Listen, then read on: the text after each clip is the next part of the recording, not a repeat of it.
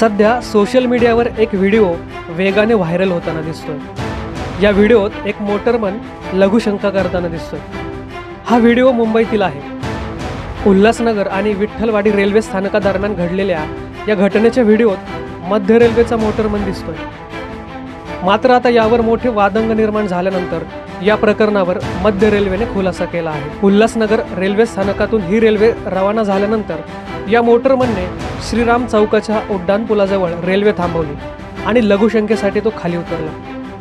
त्याने अगदी आरामात आपले काम उरकले आणि पुन्हा लोकलमध्ये जाऊन ती पुढे घेऊन गेला.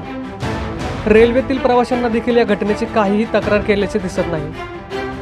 रेल्वेतील प्रवाशांनी देखील या घटनेची कोणतीही तक्रार केलेली नाही किंवा त्यांची कसली नाराजीही नाही. त्यामुळे हे प्रकरण इतके मोठे होण्याचा प्रश्नच नव्हता.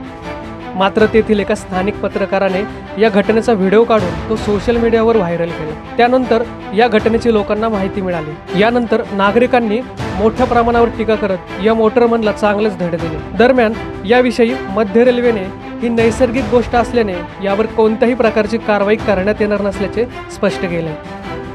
त्याचबरोबर मध्य रेल्वेचे जनसंपर्क अधिकारी ए के सिंग यांनी यावर बोलताना म्हटले की मोटरमन हा देखील एक माणूस आहे. त्यामुळे माणुसकीच्या नजरेतून या घटनेला पाहावे कुमार चव्हाण पोलीसनामा ऑनलाईन